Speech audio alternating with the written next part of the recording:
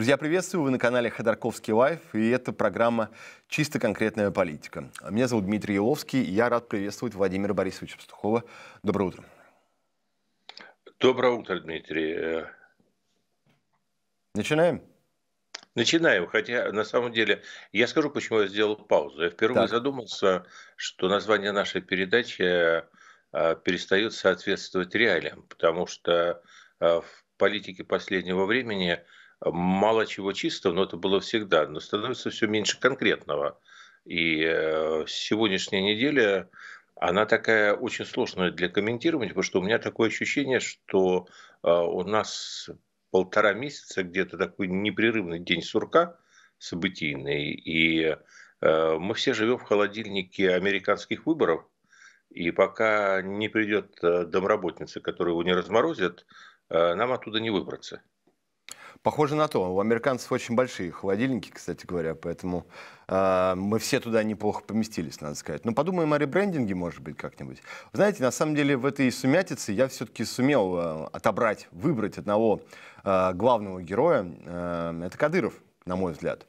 А, те события, которые происходят э, в Чечне, волнуют очень и нашу аудиторию. Ну, давайте я вот так просто пунктиром э, обозначу новости, которые приходили из этого субъекта федерации. Во-первых, э, Кадыров объявил кровную месть фактически а, сенатору Керимову и двум менее известным депутатам Государственной Думы. Во-вторых, он сказал, что за админ нарушение будет отправлять на СВО.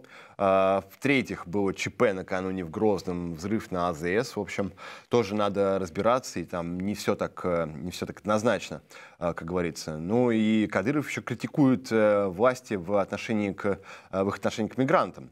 А, то есть такая фронта. И вот один из наших зрителей говорит, что припоминает, как вы сравнивали как-то раз Кадырова с поздним Пригожиным.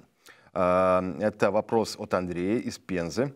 А, и вы говорили, что глава Чечни в каком-то смысле озвучил первую редакцию декларации о суверенитете. Если противостояние Кадырову системе внутри системы приближается к своей кульминации, то как она может выглядеть? Кадыров объявит своим войскам, что война с Украиной не в их интересах и запрется в Чечне, то есть все-таки марш на Москву, только наоборот, марш, марш внутрь себя. Или это будет что-то другое? Сценарий убийства Кадырова до того, как у него появится повод для такой эскалации, и так очевиден, но кажется что по-тихому убрать его не удастся.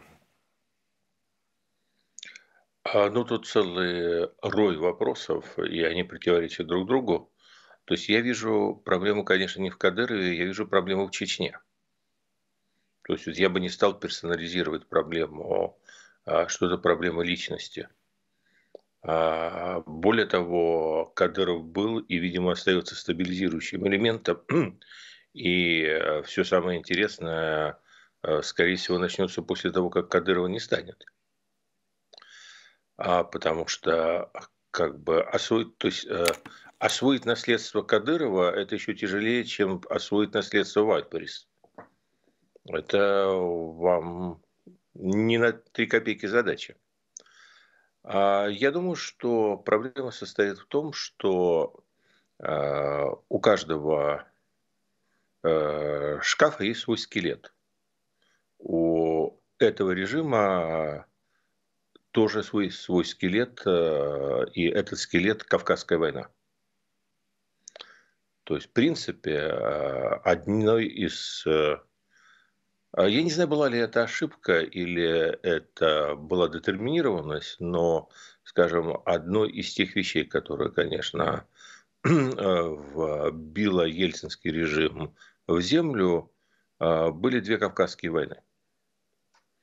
А, ну, так условно, а, это был, конечно, единый процесс, просто как бы две волны войны на Кавказе, которые, собственно говоря, очень мощно, наряду с другими факторами, сдвинули настроение населения в пользу жесткой руки. И не просто потому, что война, потому что на самом деле а, поводов для этой войны было достаточно много. А, и они были неоднозначны. То есть у нас а, принято вытаскивать колониальную тему, но есть и тема криминала. И тот, кто помнит 90-е годы, не было практически дня, чтобы тема участия и соучастия э, чеченских э, криминальных формирований в тех или иных преступлениях на территории всей России не было в повестке дня. То есть это был вопрос, который э, изводил. То есть вот в некотором смысле страна вернулась к концу 18-го, начала 19 века, когда она жила от набега до набега. И одновременно было огромное количество все-таки того же вот этого фанфаронства, самодержавной спеси, этой наглости. То есть, э, ну, как бы из песни слова не выкинешь. То есть была довольно сложная ситуация, которую режим Ельцина разрешить не мог. И его, э, в общем, потом смоделировали в качестве одного из основных пунктов легитимизации будущего Путина. И э, дальше, э, в общем, ситуация была разрешена методами не военными на самом деле. Ситуация была разрешена методами спецоперации, ну, некоторым индивидуальным террором, непонятной гибелью отца Кадырова и заключением некой личной унии с одним из чеченских кланов, который превратился а, в наместника Москвы в регионе. И взял на себя полицейские функции над этим регионом. А взамен за эти полицейские а, функции потребовал, как Шура Балаганов, как э, Остап Бендеру Шура Балаганова, массу мелких бюджетных услуг, которые со временем превратились в очень немелкие. И вот э, эта ситуация, когда Э, все держится на личной унии с одним единственным кланом, этот клан является гарантом невозвращения к ситуации 90-х. Этому клану надо платить дань де-факто. Ну или, если хотите, не дань, то оплачивать его полицейские услуги в регионе. И этот клан осознает свою уникальность и незаменимость. И поскольку он осознает свою уникальность и незаменимость, он э, абсолютно в духе все тех же 90-х качает права. А качая права, он возвращается обратно в Россию э, во всем том боевом раскрасе, в котором он там и присутствует. То есть мы, мы возвращаемся туда, а откуда уходили. То есть э, э, Чечню не удалось удержать в пределах ее границ. А, можно в равной степени сегодня говорить о оккупации России Чечни и оккупации э, России Чечней. То есть происходит на самом деле чеченизация русской жизни, вторичная. Мы это видим по Э, очень активному участию Кадырова э, в десятках, если не сотнях бизнес-конфликтов, где он пытается выступать арбитром, подменяя собой российское правосудие, правоохранительные органы. Э, и Вайлберис – это только ягодка на торте. То есть мы видим, как Кадыров везде и всюду требует своего куска. Не он лично, а его клан – Э, мы видим, что сопротивление э, этому клану оказывается вяло. Люди просто боятся. Мы помним историю с Даноном, например. Это такой немалый кусок. Не менее интересный, чем Wildberries. Э, в чем-то менее, в чем-то более. Мы помним массу других историй. А людей это раздражает. А, начинает расти та же реакция, которая вот как раз формировала недовольство ельцинский режим в конце 90-х. То есть реакция некого бессилия. Русский человек, он тоже не ангел. Смешно сейчас звучит, особенно на фоне всего того, что Россия делает в Украине. И, соответственно, это все накладывается на ксенофобию, вот эту предвзятость по отношению к кавказцам, которая никуда не делась, всегда жила, растет раздражение. Особенно это раздражение растет в силовом сегменте, потому что Кадыров во многих случаях проламывает и следаков, и оперов, и возит их мордой по столу в реальности. То есть при всяком столкновении вопрос решается не по закону, а по понятиям. И он по понятиям решается зачастую именно в пользу Кадырова. Сколько его там уже раз хоронили прямо и косвенно, он возникает в кабинете Путина, что там происходит, черный ящик, но все рассасывается. А все остальные, поджав хвосты, отползают. А, и эта ситуация становится а, все более и более раздражающей. И в конце концов, есть и другие люди. И а, в конечном счете начинают находиться противовесы. И вот интерес сегодняшней ситуации состоит в том, не в том, что идет чеченизация, она идет все последние годы, а в том, что сопротивление ей растет. Вот это вот не было последние годы. Потому что последние годы эта проблема только нарастала, он распространялся вширь, и э, все поджав хвосту уходили. И вдруг появляется Керимов, который проходит с помощью войнов кабинет Путина и решает вопрос поперек Кадырова. Причем, кстати, не факт, что Керимов в этом споре прав. Вот что смешно.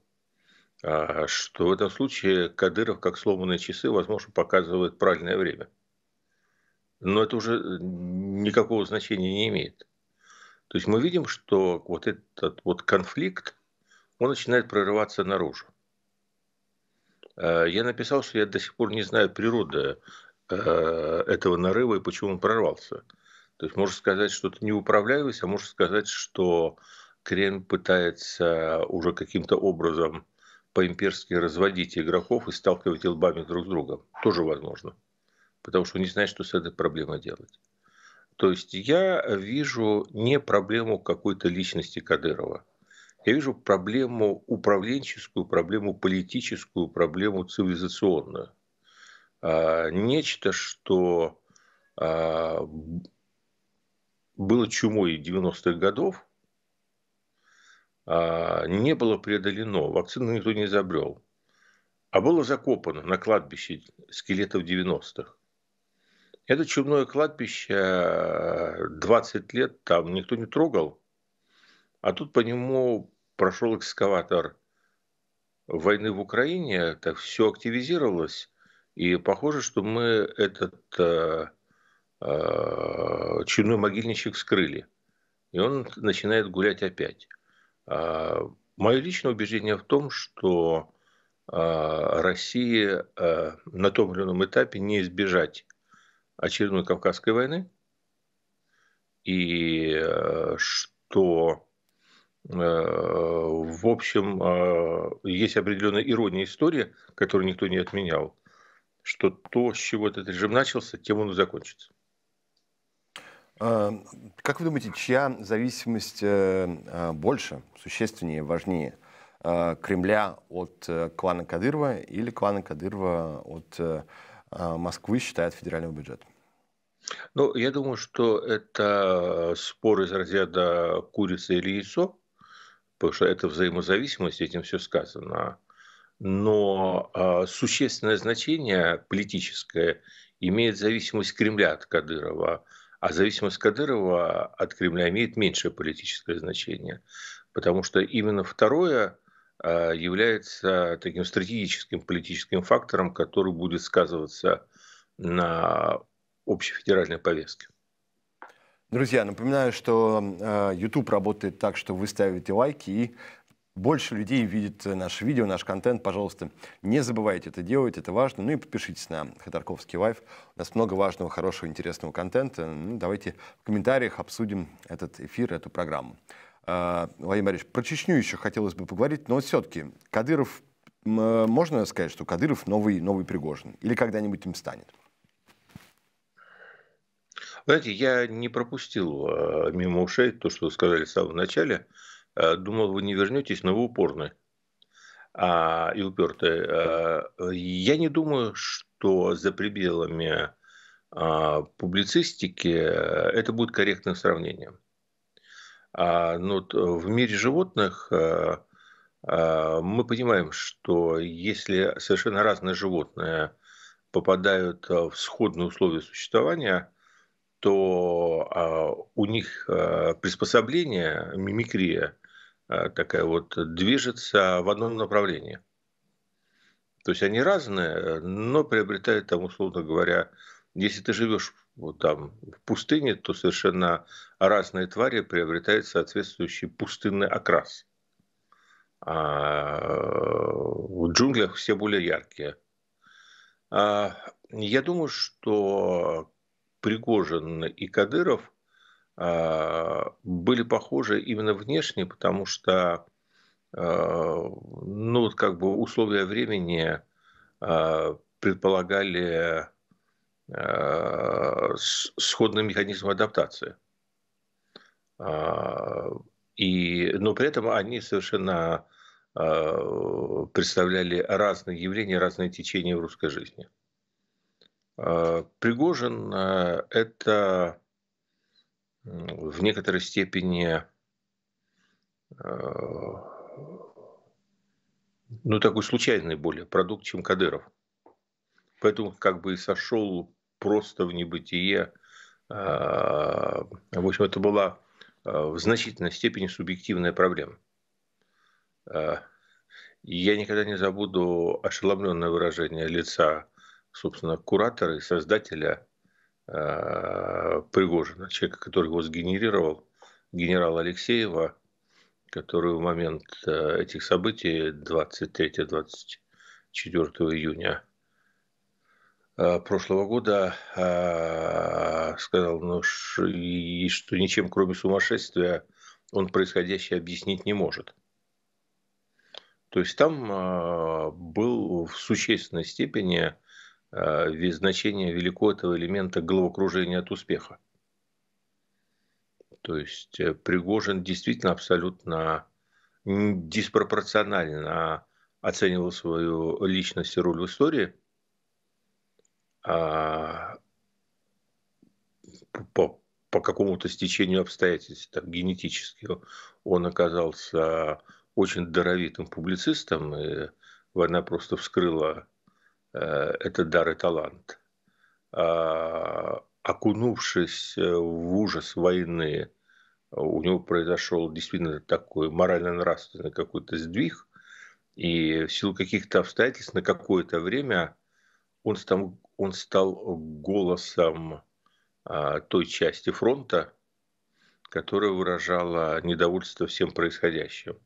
Это был такой вот э, как бы набор случайностей, э, из которого образовался смерч.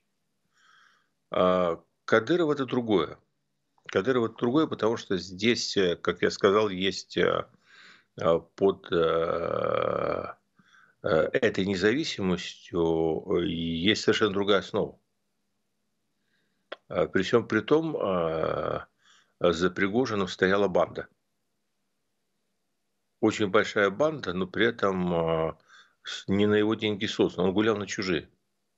Кадыров тоже, конечно, гуляет на чужие, но за ним стоит народ. Кадыров представляет огромный, талантливый, упертый, никогда не смирившийся, вот один из тех народов, который никогда не смирился со своей колонизацией, где колонизация была в чистом виде. Вот именно в чистом виде, не так, как в других случаях, когда это был такой процесс взаимовлияния и сотворчества. То есть за Кадыром стоит народ, и это много решает.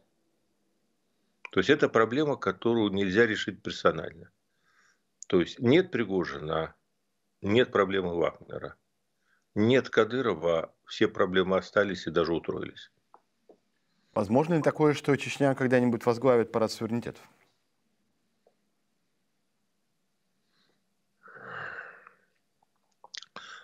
Слушайте, вы предлагаете заглянуть за такой отдаленный горизонт. Мое личное ощущение состоит в том, что в том будущем переформатировании, которое ждет Россию, проблема не Чечни, а проблема всего Северного Кавказа, ну, как может быть проблема еще одной-двух окраинных территорий, будет стоять особняком. Вот не будет этой проблемы парада суверенитетов, она имела совершенно другую природу в 90-е годы, чем часто вкладывают в нее какой-то там смысл. А будет отдельно идти процесс децентрализации и федерализации а, власти в России. Это будет один процесс.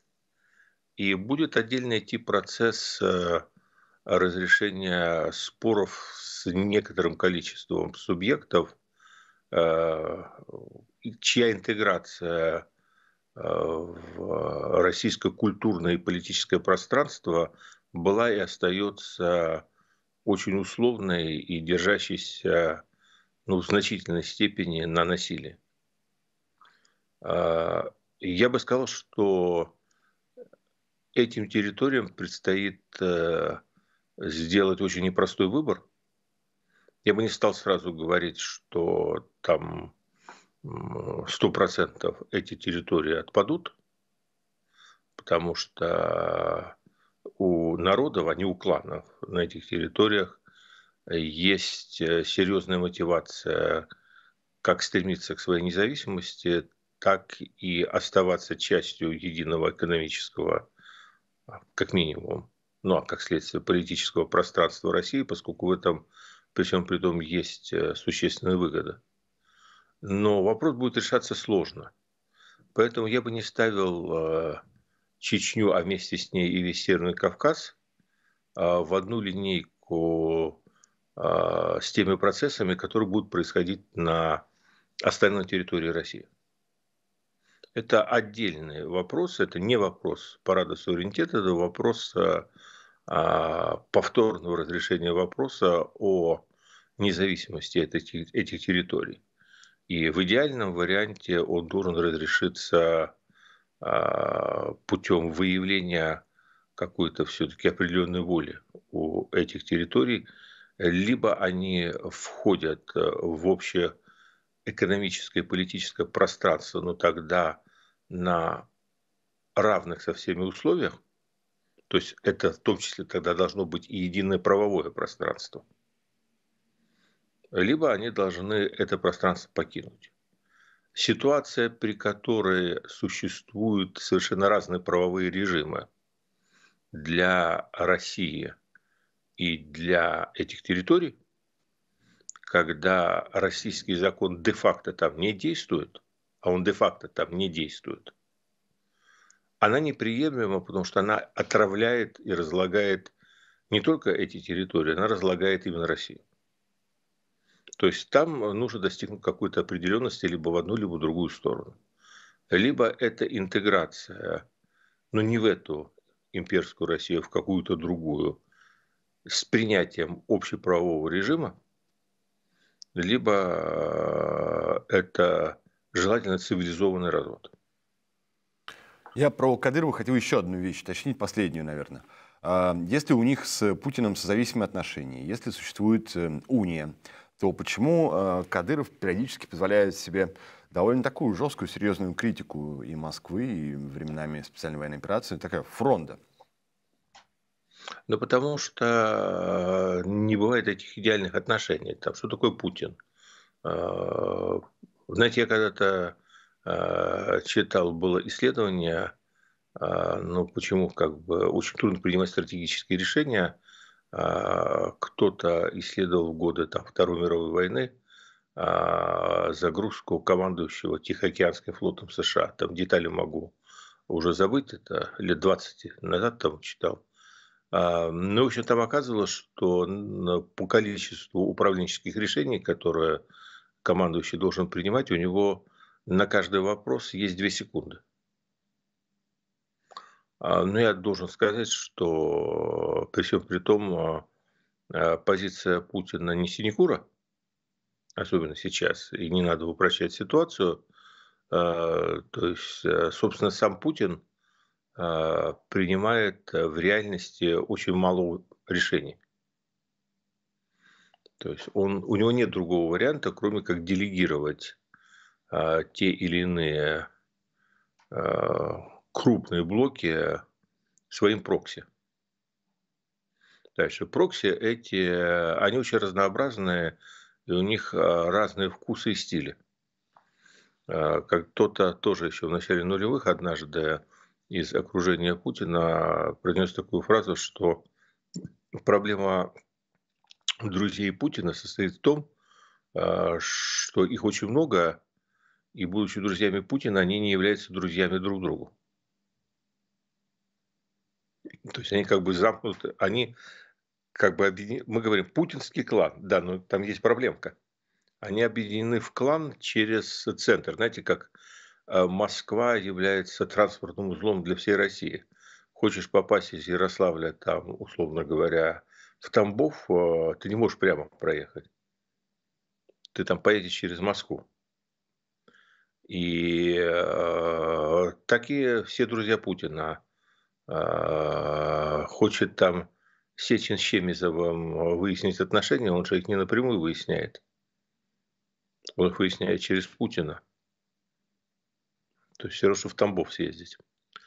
А, и а, поэтому а, вопрос, э, собственно, сводится к тому, что противоречия возникают не с Путиным, противоречия возникают с огромным количеством самых разных людей по самым разным поводам. И до Путина не допрыгнешь. Но ну, ты можешь с ним встретиться там раз в три месяца, а в условиях войны это еще тяжелее. И там что-то перетереть. А так приходится, скажем, на ножах быть. Прямом. Э, сначала в переносном смысле, а судя по последним сообщениям, уже и в прямом. И Кадырову приходится постоянно как бы переподтверждать э, свое право на избранность. То есть показывать свою силу, демонстрировать, что он в этом паханате э, один из главных паханов. То есть это требует вот этих вот постоянных вот таких э, стычек, демонстраций силы, демонстрации э, того, что я могу, я могу больше, чем вы, мне все позволено. Плюс у него появляется очень много идентичности у Кадырова. То есть он потихоньку, э, ну, это тоже возможно, личностное уже, возможно, как бы логика борьбы его выталкивает. Он становится для, как центр силы представителям там. Всех кавказцев. Представителям как бы, всех мусульман России. Представителям вообще всех мусульман. То есть он выходит за пределы э, просто э, губернатор проблемной территории. Он потихоньку за эти годы обрел статус лидера определенной социальной, конфессиональной там, какой-то группы. Там все непросто, но он претендует на него. И в этом качестве он тоже должен, а, условно говоря, а, соответствовать ожиданиям. Вот отсюда а, вот сейчас напряжение идет э, с этим миграционным бредом, который сейчас на самом деле, ну то есть сейчас э, в принципе государственная политика в области миграции, она перешла из экономического блока, который раньше более-менее как-то контролировал, в силовой и в силовой идеологический. И, соответственно, там просто начался фестиваль дурости. И э, это, ну, соответственно, усиливает напряжение в тех кругах, которые являются, скажем так, паствой Кадырова. Он должен это выражать. То есть э, дело не в Путине, понимаете, у него сколько угодно могут быть отношения Путина, если бы их не было, то давно бы это все снеслось. Но с Путиным он разруливает вопросы в их критической фазе время от времени, а со всеми остальными просто воюет. А, Еще не хочу уходить, наверное, от Кадырова. Наверное, все-таки самый раз последний вопрос. Вспомнил, что у нас был от Максуда из Германии, нашего зрителя, вопрос. А, вспоминая про то, что Кадыров пехотинец Путина, вот насколько это действительно так? А, то есть насколько эта связь конкретно к Путину, а не к режиму, не к Кремлю, не к Москве. То есть вот Максут поясняет, Путина не будет. И Кадыров в Чечне, они как-то поменяют свой договор а, с а, Россией или нет? То есть то, что вот в Чечне это персонализированная история, это мы поняли. А вот в ту сторону – Ну, э, там есть большая вероятность, что уния, конечно, разрушится, потому что здесь гигантский, э, вот в такого рода отношениях э, главная валюта – это доверие. Ни рубли, ни евро, ни доллары – доверие. И вот без этой химии доверия, ну, ничего не решишь. И при всем при том, между Путиным и Кадыровым этот некий элемент доверия есть. Мы видим, что в самых критичных ситуациях а, они а, как бы разруливают то, что между ними возникает. Значит, когда придет кто-то другой, то эта валюта будет в дефиците. Но прежде всего потому, что, во-первых, Кадыров не будет верить. И не будет их ни во что ставить. Потому что он будет как э, Э, дедом в Советской армии, он будет уже стариком, понимаете, на фоне тех. Смешно, да? А все-таки надо понимать, что здесь есть очень такой персональный момент. Мы должны не забывать обстоятельства, в которых Кадыров пришел к власти. То есть пришел мальчишка, я не помню, сколько там было, 18, по-моему, лет или а, чуть больше того, а, который реально Путиным какой-то период времени он как бы воспитывался – прямо и через э, э, дядьки там были представлены к нему. Э, но он в определенной степени продукт Путина. И это не выбросишь. Там потом наступает уже и разочарование, и осмысление, и люди становятся самостоятельными. Но, но это часть жизни. И Путин там ну, проявился, как оказал ему доверие. Мы там не знаем, что произошло то есть я до конца на самом деле расследование а, про то, что случилось а, с Ахматом Кадыровым, никогда не видел. Возможно, там были найдены а, виновные, но как-то, в общем, с заказчиками я что-то не слышал, там была какая-то стопроцентная ясность. Но мог пропустить что-то. Но в любом случае уже на этапе Э, когда это случилось, э, Путин, конечно, огромный кредит доверия э, Кадырову дал, и тогда это было неоднозначное решение. Там были и другие кандидаты. Поэтому мне кажется, что будет очень сложно восстановить эту унию. Именно потому, что очень сложно будет Кадырову с кем-то другим да и будет ли там один этот другой, тоже, понимаете, с коллективом трудно установить такого рода отношения. Вы вот в начале программы сетовали, что у нас какая-то не, конкретная политика. Вот, по-моему, первый блок как раз очень конкретный получился. А, переходим к другим темам. А, приглашаю вас э, на прогулку в охотный ряд. Спикер Володин, проект расчеловечивания, о котором он написал довольно большой и увесистый пост. Ну, в общем, э, вкратце, если сказать, то это какой-то план до леса 2.0. Э, мол, у Запада, значит, есть некий план по расчеловечиванию а, мира, среди которого, значит, и ЛГБТ, и квадроберы, и стирание границ личности, чтобы потом превратить, значит, все в послушных э, эмбрионов и лишить их всех возможных прав и свобод. При этом, конечно, никаких доказательств по существованию этого плана не, а, Володя не предоставил. Владимир Борисович, хотелось бы вас попросить э, прокомментировать это. Почему вдруг э, появляются такие, ну, прям вот конспирологические теории? Неужели вдруг зачем-то понадобилась какая-то теоретическая база под то, чтобы мочить э, меньшинство в России?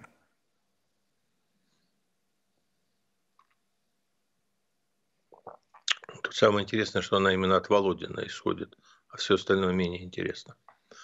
А вы знаете, ну тут нечего комментировать, честно говоря. Я могу, конечно, сейчас, а, как Остап Бендер мог гнать самогон из чего угодно, включая табуретку и получать табуретовку, но можно, конечно, и на этой базе развить какую-то пастуховскую теорию, и табуретовка русской жизни.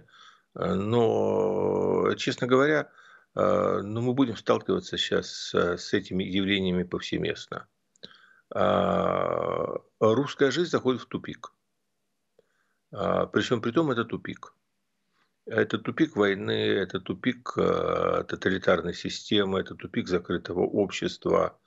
Э, гною нет выхода. Он накапливается внутри, и все делают вид, э, э, что это загар, но это, в общем, на самом деле не загар. Это такой нездоровый румянец. И э, поэтому будут два явления, э, безусловно, развиваться спонтанно, как следствие какого-то внутреннего гниения. Одно это, мы с вами обсуждали уже один раз, это, безусловно, мистицизм, ну, которого будет довольно много, и вообще склонность к всему рациональному, конспирологии, к чудесам, а, античудесам. А второе, рядом с этим – Э, но будет, конечно, происходить э, такое искусственное оглупление. А меня вот эта тема очень сильно волнует в последнее время, потому что, ну, вытащили Володина, но можно вытащить э, десятки заявлений там о сокращении образования, а, ну, действительно, с этими квадроберами это уж совсем в прямом смысле слова докопались до мышей. Никогда не думал, что как бы вот до этого дойдет. Но, а, а, понимаете, действительно вдруг выясняется, что а, люди искусственно глупеют, и оглупление является формой адаптации. То есть некое искусственное самоограничение собственных интеллектуальных возможностей на определенных этапах жизни и развития общества а, способствуют выживанию популяции. Это, наверное, идет от какого-то инстинкта, понимаете? Ну вот, условно говоря, во времена Испанской инквизиции опасно было быть слишком красивой женщиной.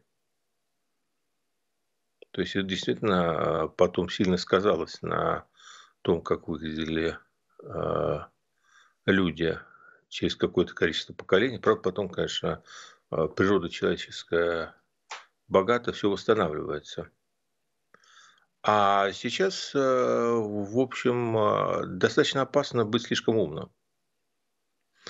Соответственно, люди не глупые по природе своей, приобретают некие качества полудурков и начинают фонтанировать какими-то совершенно сногсшибательными инициативами – ну вот мне особенно нравится все, что связано с детородностью.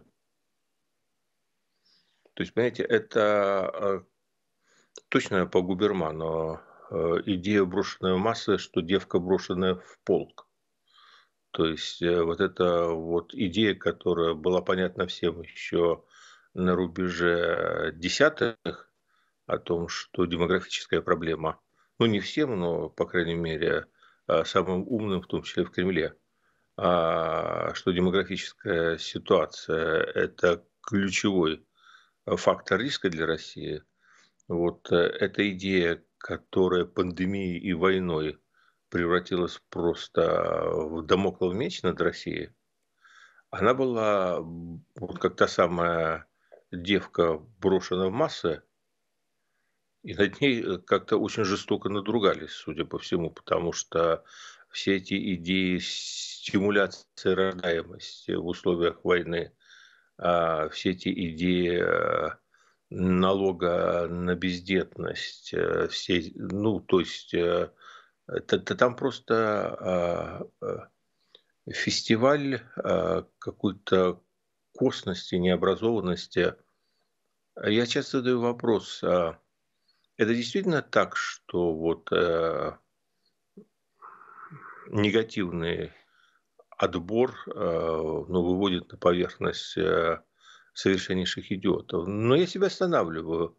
А, я понимаю, что нет, что эти люди зачастую просто отключают с ненадобностью мешающие им выживать как бы ресурсы своего мозга и начинает поясничать. Понимаете, это, вот эта глупость – это поясничение.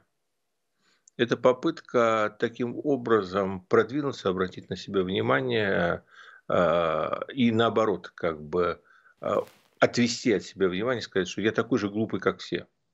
Это вот такое явление, и оно как бы, видимо, охватывает не только середняков системы, но начинает проникать уже и на самый верх. И уже и Володину надо показать, что он так же глуп, как и все остальные. Предлагаю перейти к вопросам э, наших зрителей. Вот вопрос про красные линии Запада, например, от Вальдемара из Ламберга. Э, Запад старается э, не втянуться в войну, боится эскалации, не дает разрешения на использование дальнобойных ракет по территории России. Какая красная черта у Запада, после которой он пойдет на эскалацию? Как вы думаете? Ну, понимаете, красная черта у Запада, когда он пойдет на эскалацию, это тогда, когда э, война будет на территории Запада. Ну, пока война не на его территории, соответственно, он будет делать все возможное, чтобы она там и оставалась. Ну, вот считайте, что его красная черта – это стремление не расширить зону конфликта за пределы Украины. Ну, то есть это э, блок НАТО или это что-то шире? Потому что может быть и Запад, но там без блока НАТО, например. А что у нас на Западе без блока НАТО? Ну, не знаю, Молдова, например. Ну, Молдова. Молдова – это Украина только меньше.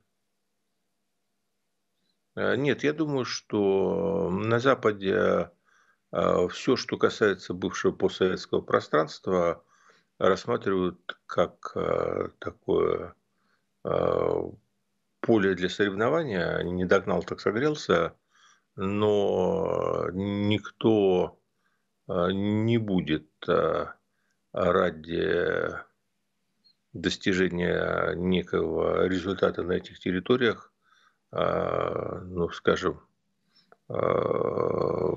доводить эскалацию до Третьей ядерной войны.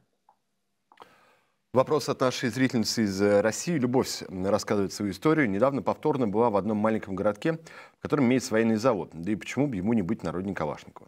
Такое наблюдение. Зиги и билборды с агитацией исчезли. Люди ходят возле стен с колючкой и продают флажки с чебурашкой.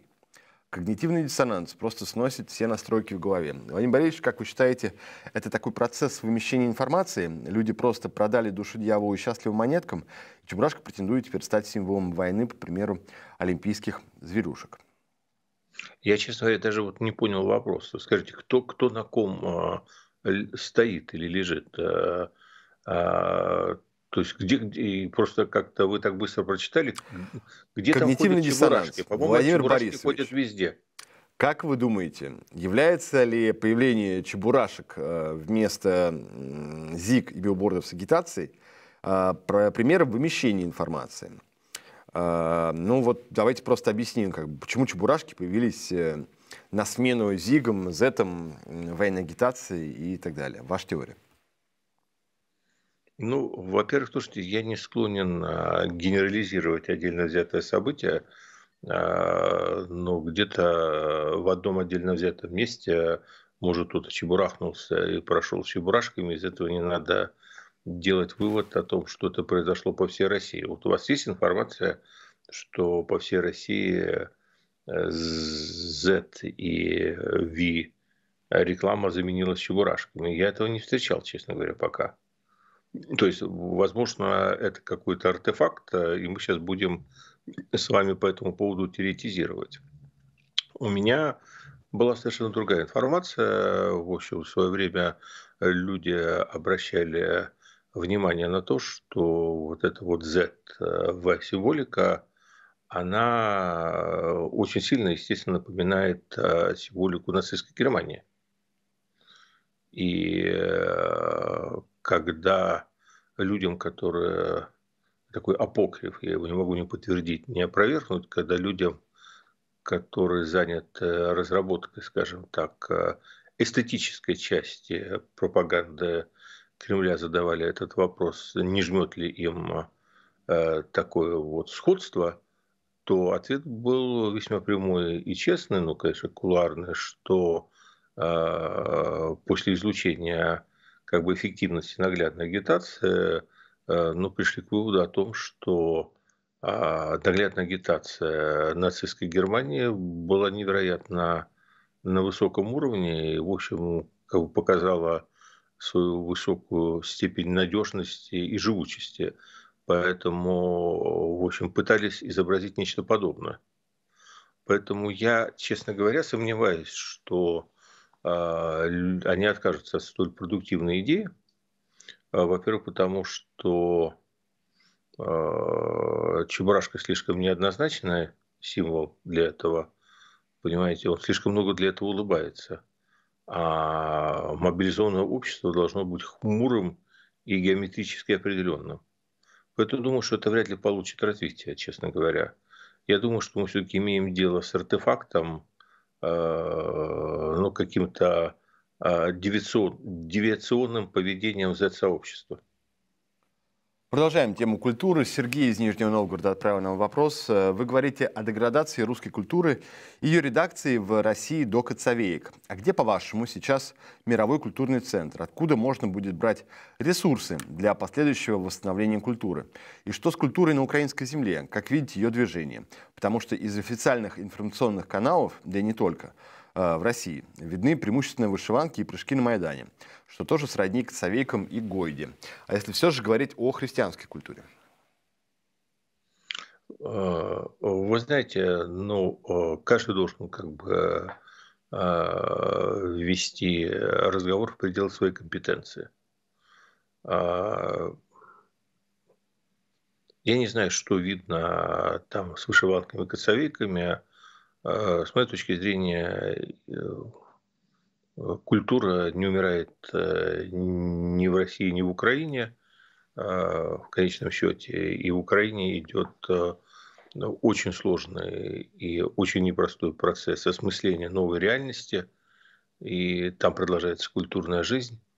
Это огромная страна э, с, со своей уже традицией культуры. Я почему-то как раз в развитие украинской культуры верю. А, я верю потому, что, в общем, такие вещи, как культура, они развиваются через боль. А боли сейчас в Украине более чем достаточно. И, может быть, э, ну, очень мало времени прошло. Понимаете, что отражение а, каких-то явлений глобального масштаба в культуре, оно не происходит как а, фотографический слепок. Там, раз снял, вот все, вот оно. Вот она пошла новая культура. Но то, что этот разлом, который пережил и переживает а, украинский народ, а, отразится в культуре, отразится через рефлексию, а, войдет в новое искусство, в новую эстетику, я думаю, что это произойдет. То же самое, я, наверное, думаю о России, но это будет просто гораздо сложнее сделать, потому что здесь как бы боль не осмыслена, здесь пока боль для чужих, понимаете? И э, это более осмысляется только очень небольшой частью населения. Основная, основная часть населения находится в анабиозе. Но когда она проснется, во-первых, мало не покажется, во-вторых, это будет, э, да, такой же как бы разлом и такая же боль. Но просто там еще время не настало. Поэтому я не думаю, что культуру а, э, я говорил о том, что след, э, ну, не я сказал, я повторил только а, эту красивую фразу Михаила Эпштейна, что то, что Россия переживает, э, это дефолт культуры, она очень точная. Но, как я сказал, дефолт – это не приговор. Он может быть приговором, а может быть и нет. Из дефолта просто это состояние, из которого ты не можешь выбраться без чрезвычайных мер, то есть без посторонней помощи. То есть ты должен выбираться из него либо с помощью внешнего управления, либо с помощью кризисного управления. Так что дефолт культуры – это вещь страшная, но при этом, с моей точки зрения, а, ну, такой же дефолт культуры был, например, а, на рубеже 16-17 а, веков. Но как бы Россия из него вышла и там просуществовала, и там много чего было за это время, как плохого, так и хорошего.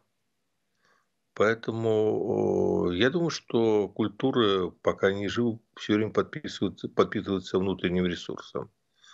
А что касается какого-то места, которое является светочем, то, к сожалению, все то, что происходит э, с Украиной и с Россией, это не изолированные вещи. Мы наблюдаем, что в целом э, э, культура сейчас испытывает напряжение, что такие же тяжелейшие процессы происходят и на Западе. А, и это тоже своего рода сейчас э, э, культурный разлом и попытка найти какие-то новые ориентиры. Мы видим очень много проблем здесь. А, и это все связано с тем, что человечество находится на фантастическом переломе, когда оно столкнулось с вызовами э, глобальными, с которыми раньше никогда не сталкивалось том числе и теми, которые созданы его собственными руками. И его надо это как-то пережить и переварить. Просто мы некая такая ослабленная часть мирового культурного пространства, и, а, как говорила моя врач когда-то в молодости, на стрессе всегда звенит слабое место. Вот сейчас а, а, человечество в целом испытывает некий стресс перехода в какое-то новое качество. И на этом стрессе тяжело всем, но больше всего, конечно, звенит э, вот на периферии системы. А, к сожалению, Россия с Украиной оказались в периферии европейской цивилизации. Поэтому там больше звенит. В конце нашей программы вопрос от э, нашей зрительницы Светы из Киева. Почему русским бабло нужнее и дороже, чем собственное достоинство, честность, человеколюбие и прочие ценности здорового человека? Что с этим можно сделать? Мне кажется, что это общечеловеческие качества. Их можно а, в разные периоды истории соотнести, перенести на любой другой народ. Понимаете, к сожалению. Каждый народ в своей истории проходит, проходит э, пики и падения, точки пика и точки падения. Часто они не совпадают у разных народов. А, но, к сожалению, природа человеческая везде одинакова, что у русских, что у украинцев, что у немцев, что у англичан. Э, мы все ходим всегда между раем и адом. И всегда э, очень легко навернуться и упасть в ад, потому очень трудно оттуда выбраться. Никто не застрахован. Э, да, сейчас, сейчас подскользнулся русский народ и довольно глубоко упал, к сожалению. Но это не значит, что все остальные застрахованы. Я не стал бы это атрибутировать по национальному признаку. Напомню, что вопросы я принимаю в своем телеграм-канале. Ссылка есть в описании. Там же вы найдете ссылку на телеграм-канал Владимира Пастухова и на пастуховские кухни, сайт, проект Владимира Борисовича и его сына Бориса Владимировича. Владимир Борисович, спасибо за разговор и до встречи через неделю. Спасибо большое, Дмитрий. До встречи. Всего доброго. Не уходите без лайка и без подписки на Ходорковский лайф. Проверьте, с нами ли вы. Будем вместе. Всем пока.